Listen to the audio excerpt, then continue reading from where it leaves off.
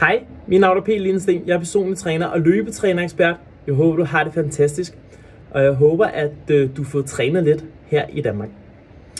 Nu er det sådan det, at jeg oplever rigtig tit, at man kan godt have svært ved at komme i gang med ens træning. Det vil sige, det kan være, at du har et mål med, at du godt kunne tænke dig at tabe dig 10 kilo, eller at du gerne vil løbe de første halvmarathon eller maraton, eller generelt bare komme i gang med træningen, så du får god energi til kroppen, så du kan stresse lidt mindre af. Så har jeg et øh, sindssygt godt fif til dig.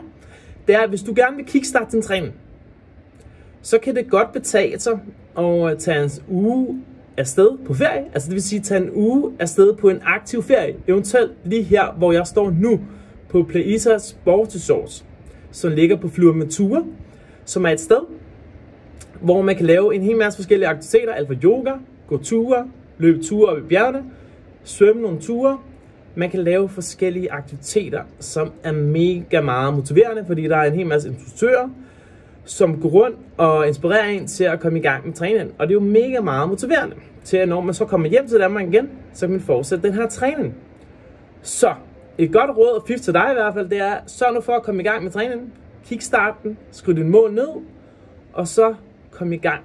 Og det som jeg gør, det er, at jeg tilbyder alle mine kunder 30 minutters gratis uforpligtende møde over FaceTime, hvor I møder mig, og hvor at jeg hjælper jer og motiverer jer til jeres mål, ud fra at hvis I gerne vil tabe jer, generelt få god energi til kroppen, og generelt komme i fysisk bedre form, til I kan nå jeres mål i år 2020. Og samtidig med, så kunne det også være fedt at blive strandklar her til sommer.